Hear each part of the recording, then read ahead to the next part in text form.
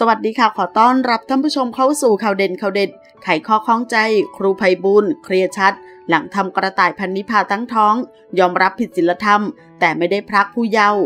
ล่าสุดครูไพบุญตอบแล้ว หลังทำกระต่ายพันนิพาตั้งท้อง ยอมรับผิดศีลธรรม แต่ไม่ได้พรักผู้เยาว์โดยในช่วงหนึ่งของไลฟ์สดนายไพบุญก็ได้กล่าวว่า มีคนถามว่าเป็นการพรักผู้เยาว์หรือไม่ ครูไพบุญตอบว่า ตามความเข้าใจของตนการพรักผู้เยาว์จะเกิดขึ้น ก็ต่อเมื่อสองฝ่ายไม่เข้าใจกัน หรือมีการฟ้องร้องกัน